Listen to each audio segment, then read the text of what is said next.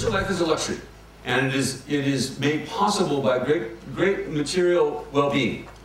Uh, so our, our material well-being is, that, is the condition of possibility for our spiritual life.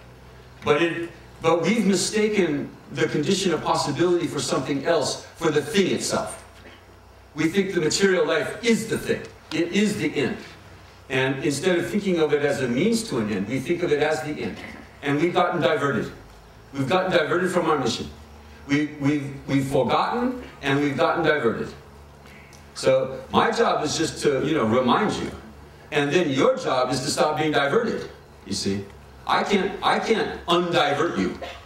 You see, I can't undivert you. I can't, I can't come and follow you all home and make sure that you're not wasting hours and hours and hours and hours on your life, of your life, of this precious life, doing meaningless things, things that don't matter.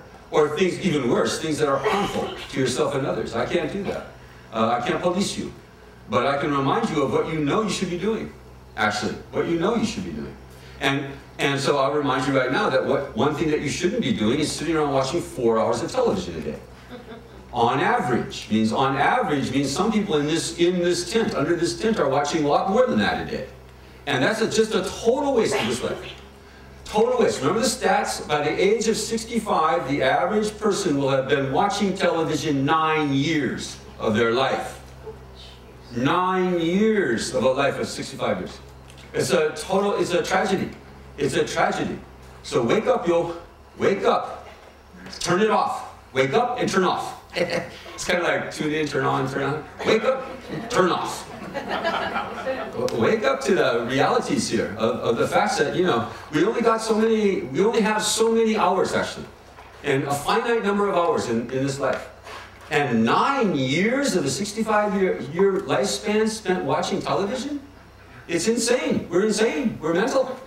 We're, we're really ser seriously, seriously crazy. Uh, so, you know, we do have to wake up. You have to have somebody come once in a while and go, shh, uh, you know, wake up. You know, like in like in those old like 40s movies where you know people got hysterical and then like Humphrey Bogart came and whacked them around a little bit. And I think you know, like I sometimes feel like Humphrey Bogart. You know, I feel, feel like you know, come on, what are you doing? What are we doing? Four hours a day, come on. And it's not like you're sitting around watching spiritual stuff on TV four hours a day, I tell you that. You see, it's not helpful. It's not helpful to you. The only thing that's helpful to you in this life is the spiritual path. That's the only, the only refuge we're talking about this afternoon. The only refuge you have is a spiritual path. The money isn't a refuge. The things aren't a refuge. The consumer items are not a refuge. They're not going to help you. They're not, they're not helping you. They're not helping. The, uh, the, the time you spend on the job is no help. It's, we have to we have to do our jobs. We have to you know make some money, but don't get diverted. Don't get diverted and think that somehow the job, the profession, the career is the point. It's not the point. You got a you got a larger mission than that. You got a larger mission than to get really really good as being a plumber or a lawyer. See, bigger mission. Your mission, your mission, uh, you know, in this life, and the reason that you got the conditions that you got in this life is to fulfill your mission. And that mission is to finish her off. Finish it off in this life. Means to perfect yourself. Spiritually. To perfect spiritually means to perfect yourself spiritually means to become a truly happy person. To to become to enter bliss. To enter into bliss. And we go, bliss. Dude, bliss. That sounds good. Uh, you know. Uh, but we don't really have much experience with bliss. You know, we're, we're we're not, we're not anywhere close to bliss usually. We're, we're, we're, we're not even content yet. And you can't, be, you can't achieve the highest goal of ecstasy and bliss until you're content at least. So the first thing to do is to get content, to, to learn to be content. And uh, you will never be content watching four hours of television a day.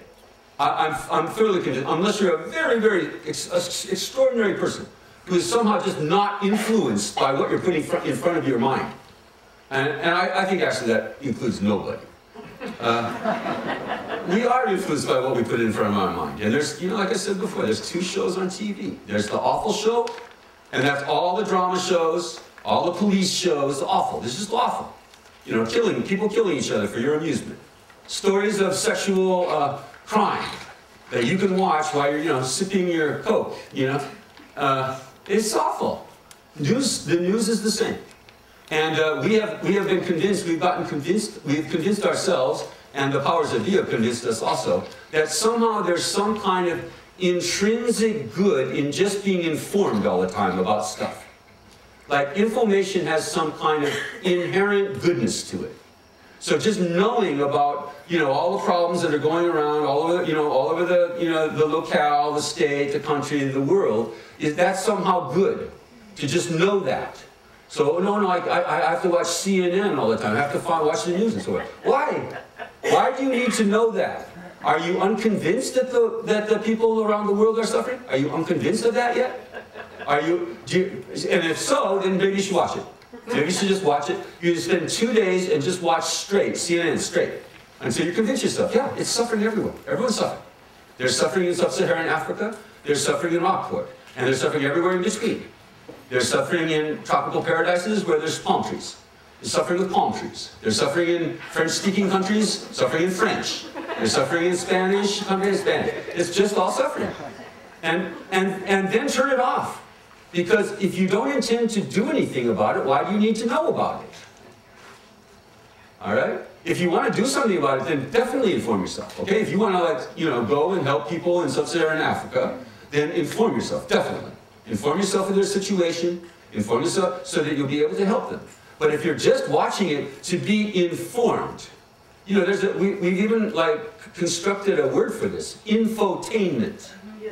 It's just entertainment. It's just another form of entertainment, and it's perverse. It's sick.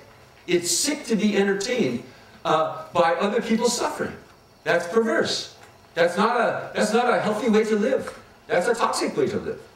So, and we're inur- and, and it's just inuring us. It's inuring us to the suffering of others. By watching it on TV, it becomes just another show.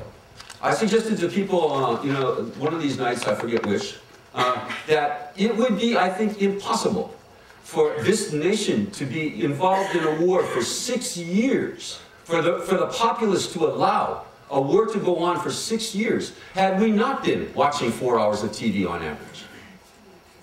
See, it's because we are sick. It's because we are watching this stuff over and over and over again as entertainment that we find it tolerable to spend billions and trillions of dollars bombing other people to, to smithereens. That we can that we can put up with that. That we that we don't like stay up all night, you know, with our conscience, you know, keeping us awake and you know because we're inured. We're living a toxic life. We're living a life of toxicity intellectual toxicity, spiritual toxicity. So first thing, I mean, I think this is a, this is something. Uh, if if if there, one person in this audience turns off the TV as a result of these nightly harangues, more or less, it will be have it will have worked, been worth it. I get emails actually, uh, you know, from people saying, you know, I just wanted to tell you that after listening to that harangue over and over again, I finally said, well, maybe we should turn off our TV, and our lives have improved dramatically. Our family life has improved dramatically. The kids aren't so wacky, you know. Everyone's happier. Try it. It's very easy. You, you, you know, all, it's not a matter actually of, even of turning it off. It's not turning it on. So it's not actually that you actually have to do anything. You just have to not do something. You just have to not go click. See? And just try it. And you know, don't, don't hurt yourself. Take it slow. Uh, just uh, try a day at a time, like one day. Like maybe just say, oh, you know, on Sundays, on Sundays we don't watch TV in our household. On Sundays we just turn off the TV.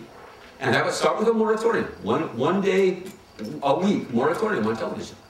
Uh, the, the figures on this are astounding. I won't go into them again. Uh, but if you actually you know, do any kind of research on it, the number of acts of violence that we're watching uh, on a daily basis is, you know, and, and cumulatively as they add up over days and weeks and years is just astounding. And, uh, and it's just actually entertainment. We're just watching it as we're watching other people suffering for entertainment. So that's the first thing. That's a, that's a very easy, easy way to just start being happier. You'll be a happier person, you have a happier family life. It's not doing your children any good to have the TV on for, actually, the average person is watching four hours plus a day. The average, the average household has the television on six, six plus hours a day, or some, some uh, surveys say about seven hours. So the television in the average household is on six or seven hours a day with somebody watching it. And uh, if you know your kids are being exposed to this toxicity, it can't be good for them. There's no way to. It's not. It's irresponsible as a parent to let your kids watch TV. I'll just put it like that. Okay? It's just irresponsible. So stop. Just don't do that. You'll be happier. Your kids will be happier. They won't thank you immediately. I bet. but eventually they will. I think eventually they will. There will come a time if you if you start and you say like you know we just don't watch TV in this household anymore. There will come a time where they'll come back and thank you, thank you, thank you for saving me from from you know. From, I think 200,000. By the time that a kid, average kid is 18, they have seen 200,000 acts of violence on television. How can that not affect them, you see? How can that, how can that make for a happy life for your kids?